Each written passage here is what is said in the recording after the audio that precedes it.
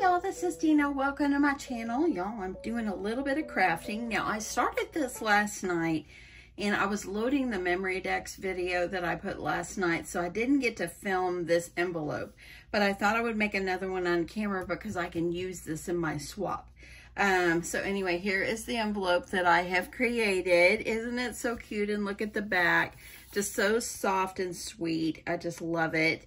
Um, but anyway, the papers that I used was like a Frank Garcia paper from, I like, last year. And this is part of another collection, and this is another collection. So just different ones, and I just grabbed the pinks and so forth.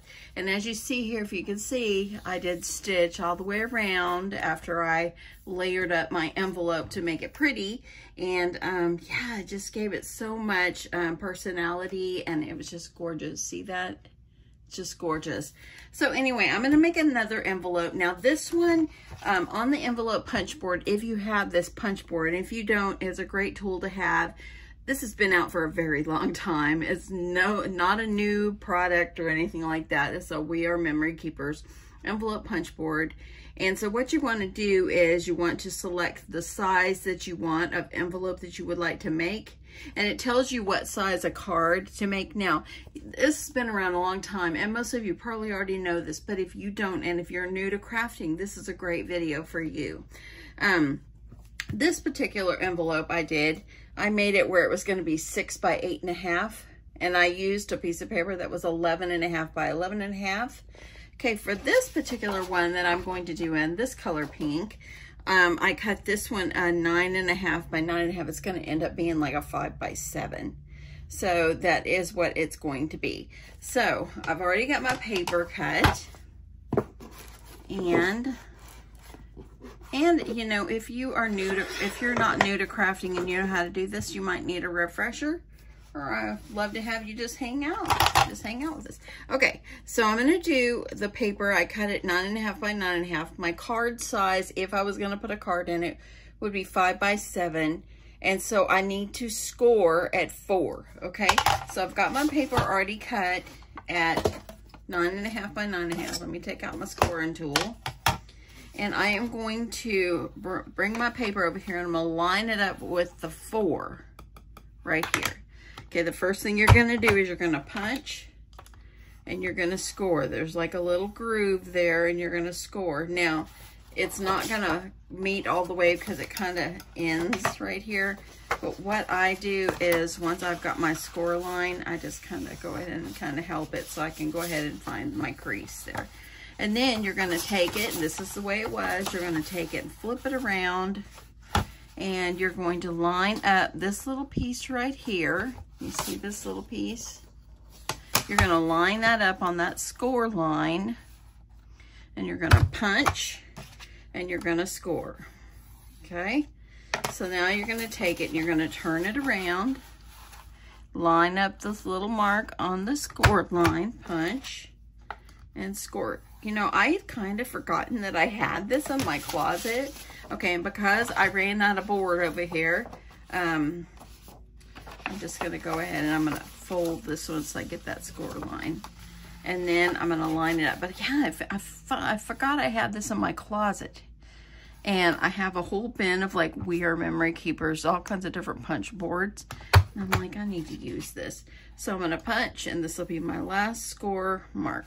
Okay, so there we go. Now we have the shape of our envelope. Okay, let me get the trash shelf here put my envelope punch board to the side and I'm going to go ahead and I'm going to just fold and fold my creases, okay? Okay, so there we go. Now we have the base of our envelope. Um, so now what I'm going to do is I think I will use this piece, and it is out of like last year's lot, uh, Doodlebugs, lots of love, but I like it because it's got it's got pretty colors on it. I'm not going to use this side because I kind of want to stick with the real soft theme, but I thought I would use the polka dot side. And I'm also going to use some scraps from the other one. I've still got some scraps from the other one that I did. So I'm going to decide if I want to put the polka dots on the back or if I want to put them on the front. Um, I'm kind of thinking that maybe I will put this on the back, okay? Or inside. I think I'll put it toward the front. Okay, so what I'm going to do is I like to line mine up. And I'm going to need to, let me get a little pencil here. See, last night when I was done crafting, I put stuff away. I'm so proud of myself. That don't happen often. Usually I leave the mess here and then I come in and load more. Okay, so you're gonna line it up. You wanna make sure your paper is gonna be up inside here. And you don't even have to make it the whole way down you because it's gonna be down into the envelope. But I'm gonna go ahead and I'm gonna, I'm gonna do that. Let me grab my trimmer and I'm gonna cut this piece off where I made the little tick mark and I'm gonna cut okay? So now I have this piece and it will fit like down inside the envelope, okay? So now what you're going to need to do is you're going to have it down inside the envelope, okay? And I just like to kind of put mine like this and I come over here and I will draw around the edge so I know where, where to cut it. Okay, so I drew on there. Now I'm just gonna grab my scissors and I'm going to cut this part off.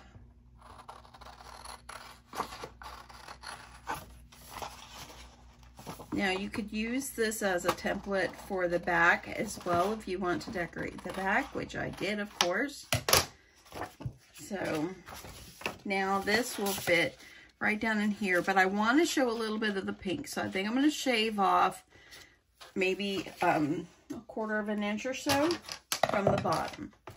So let me go ahead. I'm going to shave off a little bit.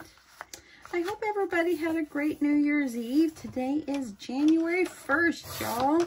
I cannot believe it. January 1st, 2023. Okay, so I've got this right here, and I think I'm going to use, maybe I'll use this piece, and I'm going to go ahead and trace off for the back. And that way I've already got it, so I'm going to go ahead and just kind of trace so let me, that way I have a template.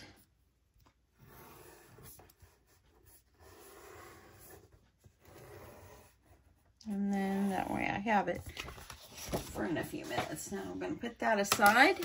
So now what I'm going to do is grab my tape and I'm going to do the polka dots coming outward. So I'm just going to add a little tape just to hold this all in place because I am going to put this under my sewing machine. You don't have to, but I am going to do that. So I'm just going to try to get this all lined up. I want to make sure I'm showing the beautiful pink. And there. Okay, so now it will fit right inside and it already has made this from grab to fab, let me tell you. Okay, so then this piece will go here. Okay, so now we're gonna need to decorate these other pieces and I'm gonna go ahead and cut that back piece so I've got it.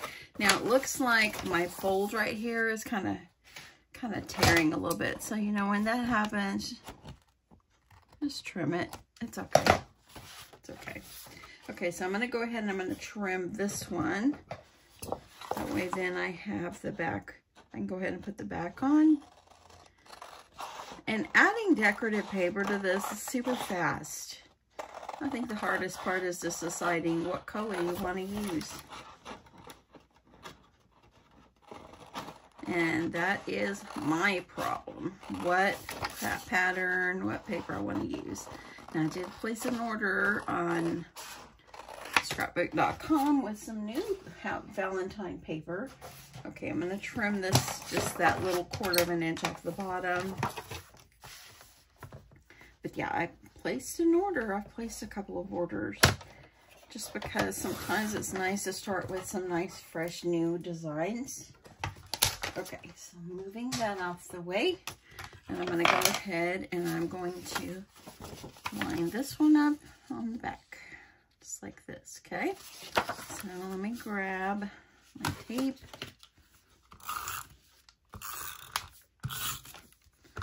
Made the I've made these so many times and you know I mean back in the day we're always making envelopes and stuff when the punch board was so popular and it just really brought me so much joy just using my tools and um, creating something that turned out so pretty.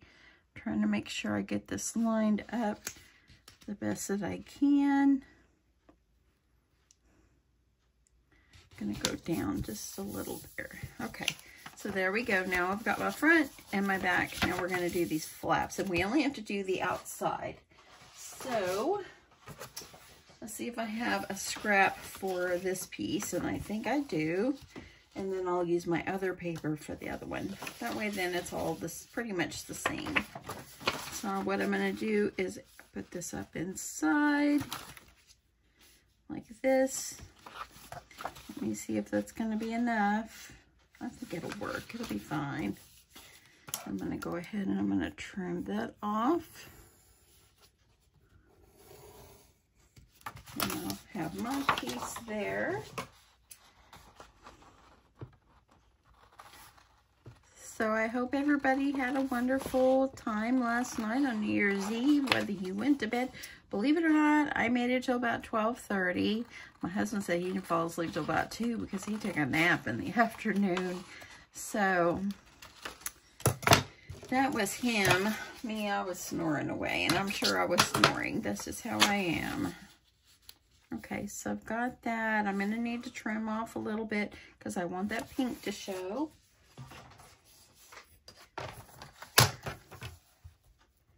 And I'm going to trim just a little bit off the bottom.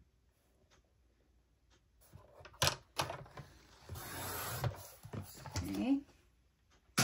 And my trimmer that I am using, if you're interested, I am using the Cricut brand. I really like it. I, I have several different kinds and I really, really, I really like it. So okay, I'm going to flip this over so I can see what I'm doing.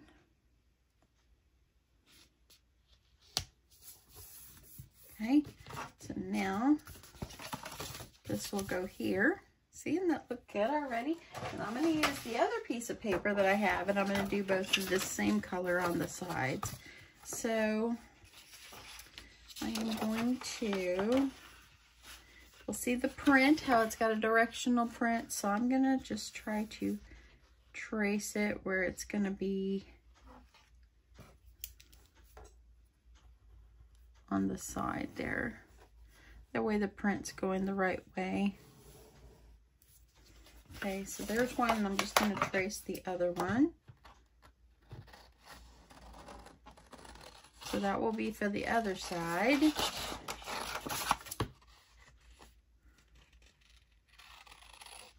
Okay, so trim it.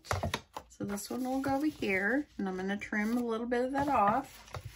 And now I'm going to do, I'm going to do this way flip it over.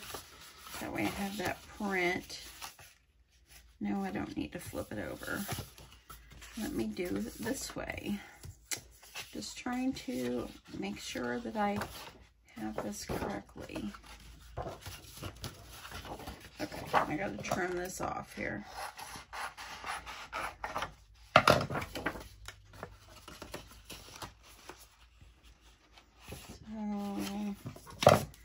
One's going to go here.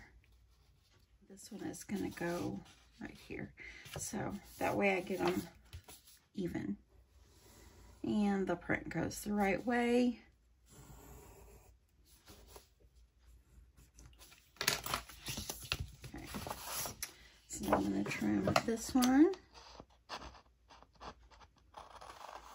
If you're not using any kind of directional print, it wouldn't have mattered. You could have just cut them both I want to make sure my print's going the right way. Okay. Okay, so now I'm just going to put them back to back and I'm going to trim off a little bit.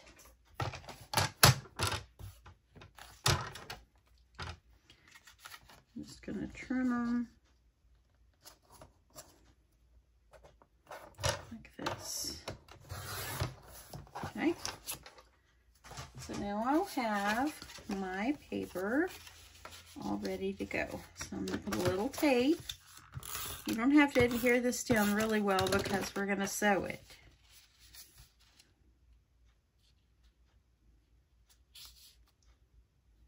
Okay, like this. And I'm going to do this one over here.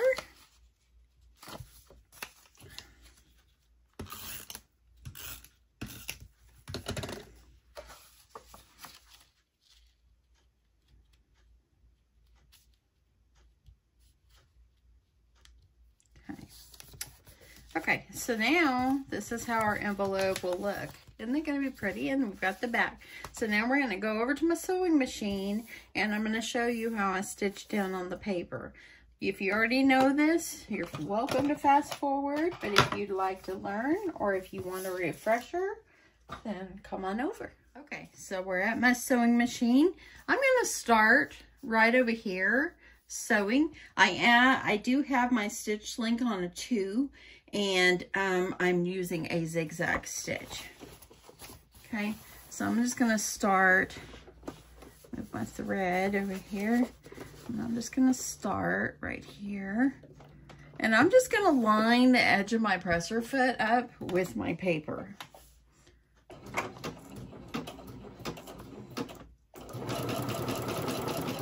And I'm gonna sew use my down feature. And I'm to pivot when it's time. The nice thing is it's going to catch that back paper too. So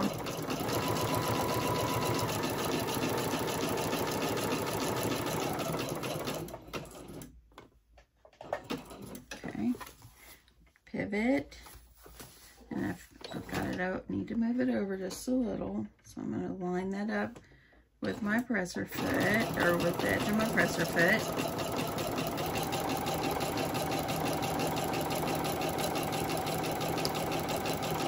This is an option. You don't have to stitch your envelopes. I just thought it would be pretty. And I have had people ask me before how to sew paper. Well, this is how you sew paper. Okay, gonna flip it.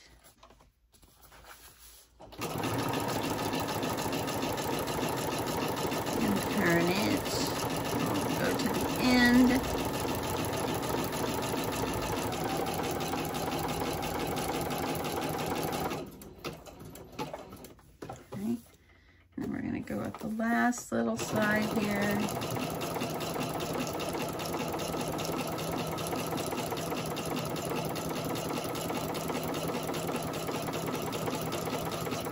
And believe it or not, I did back stitch.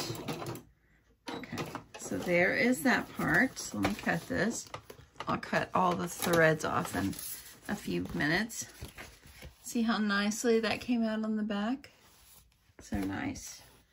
Okay, so now I'm going to do the side. So I'm going to start, and this was my tricky part of deciding which side to start on. Because you want to, you're going to have to turn your project to sew.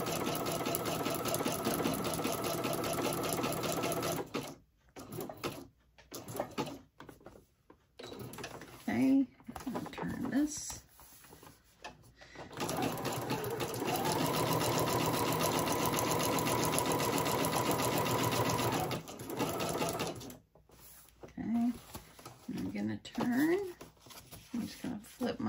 Side up there.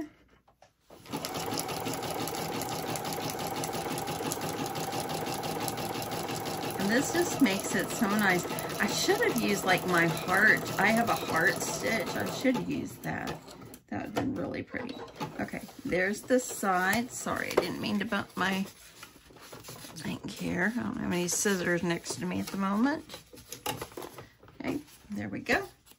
Okay, so there we go. You can see how that looks. let's move on over and do the other side.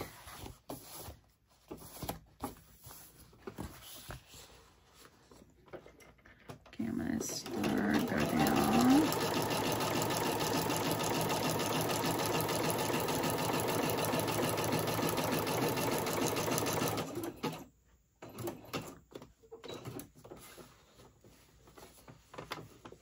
And I think, I think I'm going to go off one more and then I'm going to lift it up.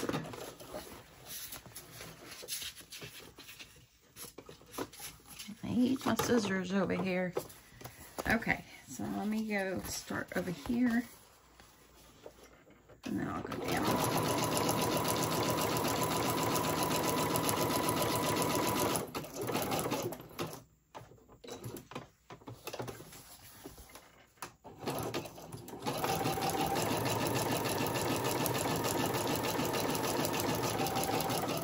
Okay. That one off. And one more side, just this end flap. Okay, so I think I'll do the long part first.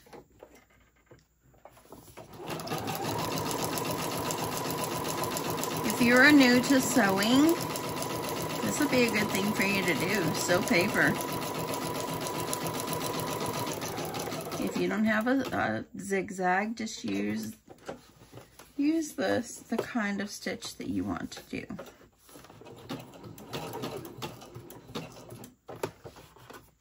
If you all you have is a straight stitch, then go with the straight stitch.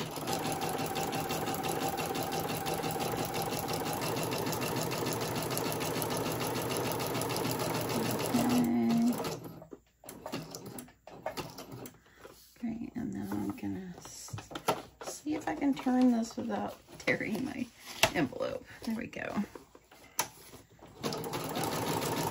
Okay, so I had to stop for a second. My thread broke. It's because it got jammed on the top. But I've got it all fixed up and we're gonna finish this out.